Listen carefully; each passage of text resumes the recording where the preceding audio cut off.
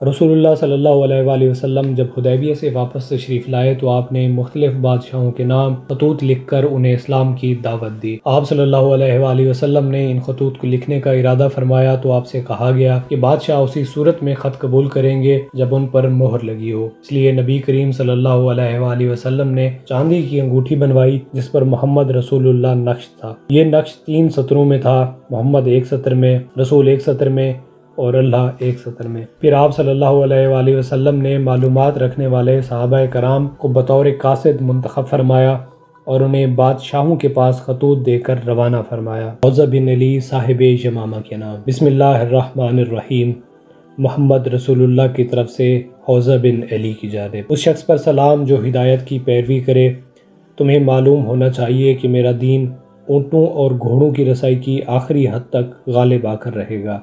लिहाजा इस्लाम लाओ, सालिम रहोगे और तुम्हारे मातहत जो कुछ है उसे तुम्हारे लिए बरकरार रखूँगा। इस खत को पहुँचाने के लिए बहसीत कासिद सुलैत बिन अमर आमरी का इंतखब फरमाया गया।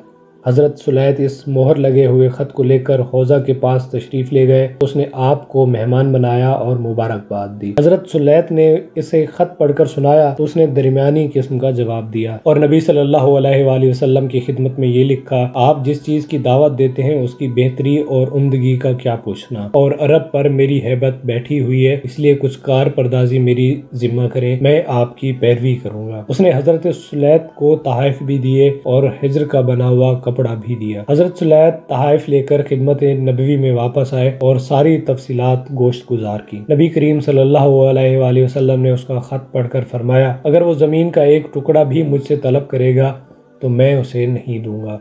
वो खुद भी तबाह होगा और जो कुछ उसके हाथ में है, वो भी तबाह होगा। फिर जब रसूलुल्लाह फ़तेह मक्का से वापस तशरीफ़ लाए तो हज़रत जब्राइल ने यह खबर दी कि हौज़ा का इंतकाल हो चुका है। नबी करीम सल्लल्लाहु अलैहि वसल्लम ने फरमाया, सुनो, यमामा में एक कज़ाब नमूदार होने वाला है, जो मेरे बाद कत्ल किया जाएगा।